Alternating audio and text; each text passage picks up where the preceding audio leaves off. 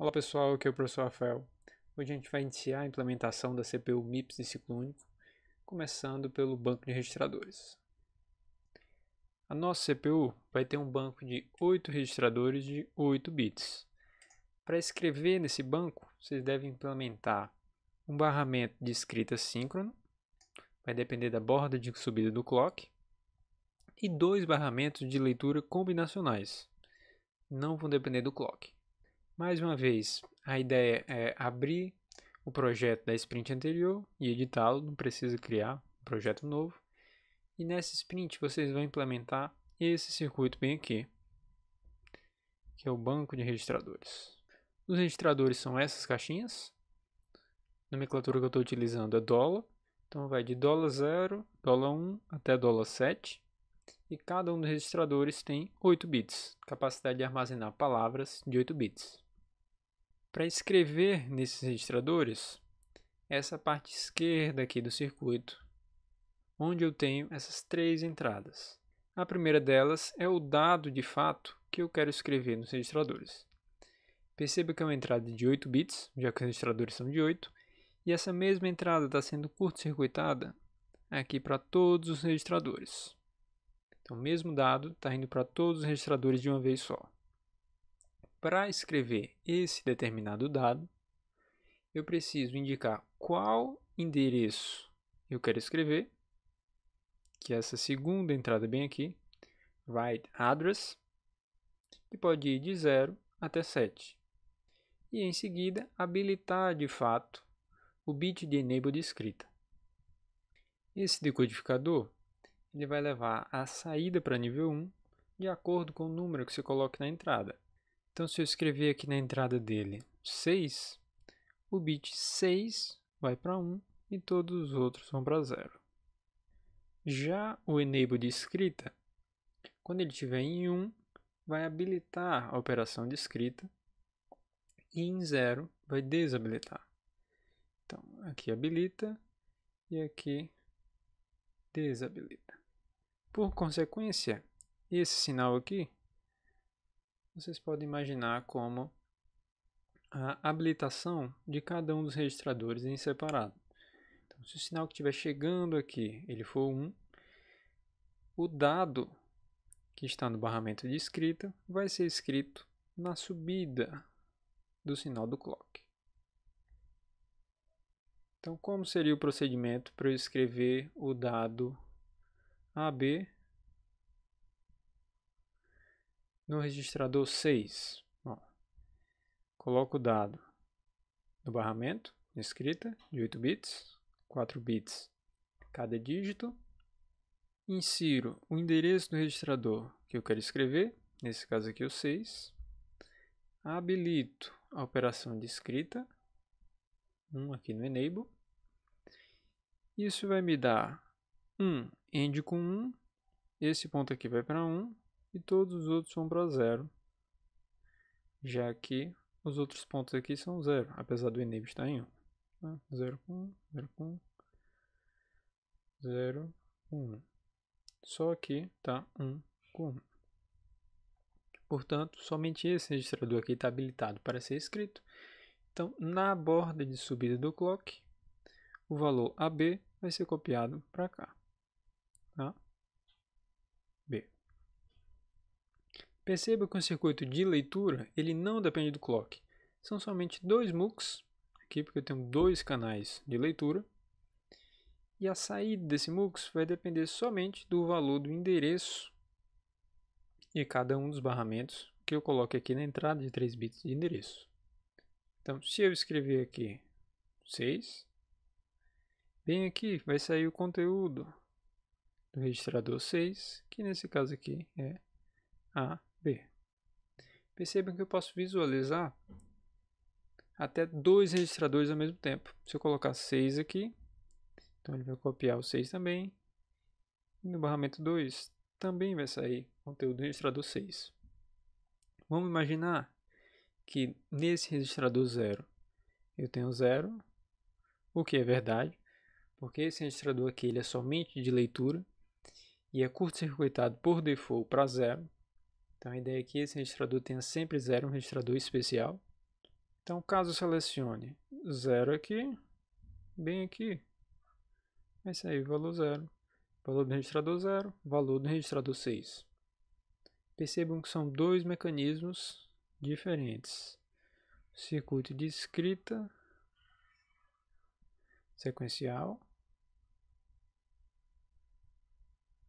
Depende do clock. Já o circuito de leitura é totalmente combinacional.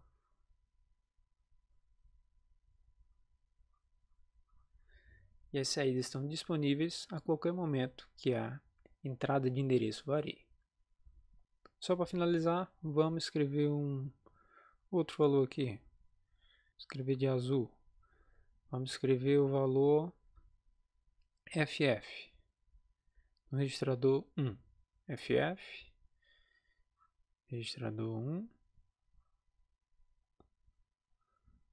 O enable tem que estar ativo. Mais uma subida de clock. FF vai ser copiado para cá. E já está imediatamente disponível no momento que eu endereçar aqui o registrador 1 em qualquer um dos barramentos. Nesse caso aqui no 2, vai aparecer aqui. FF. A descrição que eu acabei de fazer do circuito está de forma textual. Bem aqui. Cada uma das entradas está nomeada. Eu dei o nome aqui padrão. Vocês podem dar o nome que vocês quiserem. O importante é que siga a lógica de funcionamento e a largura de cada um. Entrada de dados, entrada de endereço de escrita, o enable de escrita, sinal do clock, borda de subida, os endereços de leitura do barramento 1, barramento 2 e os dados de fato de leitura do barramento 1 e barramento 2. Lembrando uma consideração bastante importante é que mesmo que eu tenha descrito aqui o circuito em termos de decodificadores e portas lógicas, não se atenha à descrição em baixo nível. Você não precisa descrever esse circuito em termos de portas lógicas e tabela verdade. Né? Para aumentar a produtividade, suba um pouco o nível de abstração e tente escrever o código mais enxuto possível, utilizando as funcionalidades de alto nível em Verilog.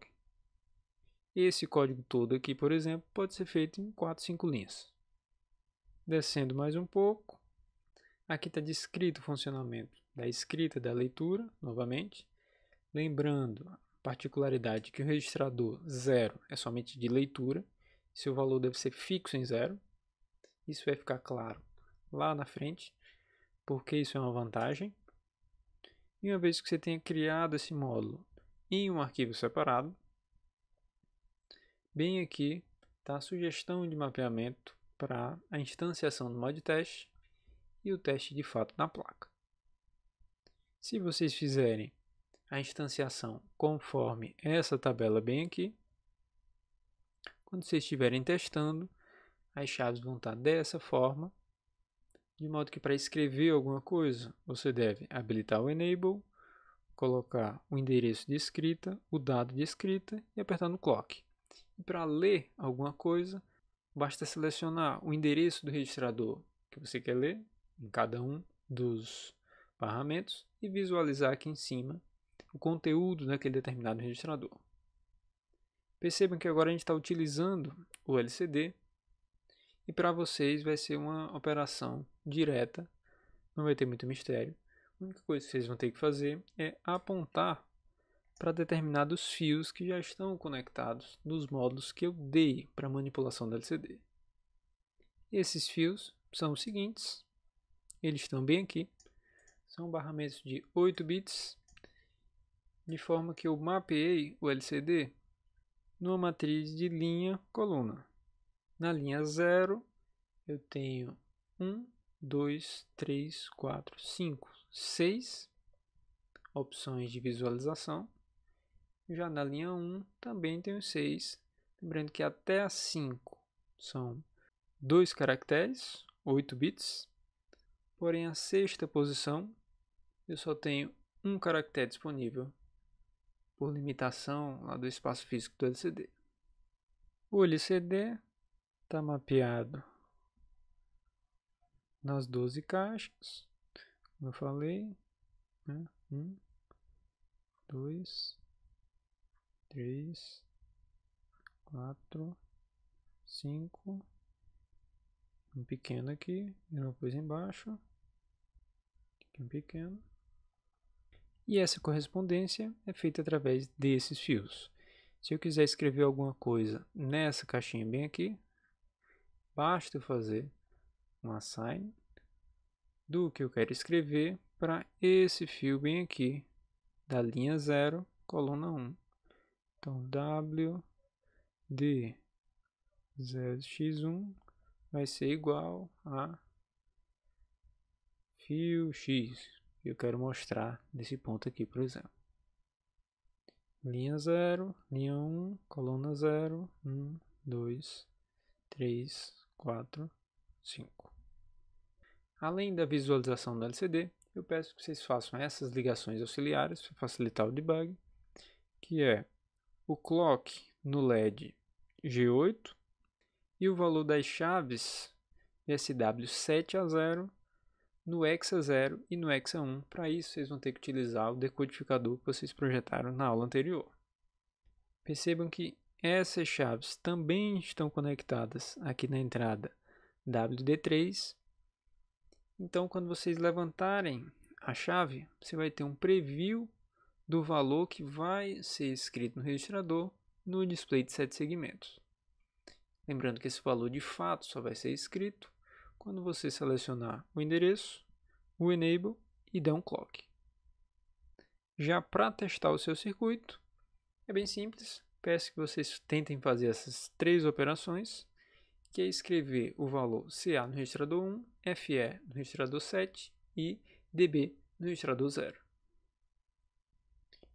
Carregando o circuito para a placa, deve ficar exatamente assim. Essa chave de cá é do Enable. Então, habilitando a escrita, vou começar escrevendo no registrador 1, esses bits daqui para cá, são endereço de escrita, o dado CA. Então, A é isso aqui, e C é isso aqui. Habilitada a escrita, registrador 1, o dado CA, vocês podem ver o preview aqui em cima no display de 7 segmentos, para escrever basta dar um clock. Se tudo estiver certo, a escrita de fato ocorreu. Agora vamos escrever o valor FE, tá aqui F, é, no registrador 7. Habilitado, registrador 7, FE, vou dar um clock. Se tudo estiver certo mais uma vez, o dado FE foi escrito no registrador 7. Já para visualizar o conteúdo desses registradores, basta eu escrever o endereço em qualquer um dos dois barramentos. Vou olhar aqui no barramento 1, escrever, tentar visualizar o conteúdo do registrador 1. Basta levantar aqui, vocês podem ver que apareceu o CA aqui. Então, se eu estivesse olhando no barramento 2, também o conteúdo do registrador 1, bastaria levantar aqui, ó. Tá no, tá no 2. Para visualizar o conteúdo do registrador 7, basta endereçar aqui o 7. Vocês podem ver que apareceu conteúdo do registrador 1, conteúdo do registrador 7. Fechando aí a demonstração de hoje. Era isso, pessoal. Qualquer dúvida, basta me procurar. Um abraço, até mais.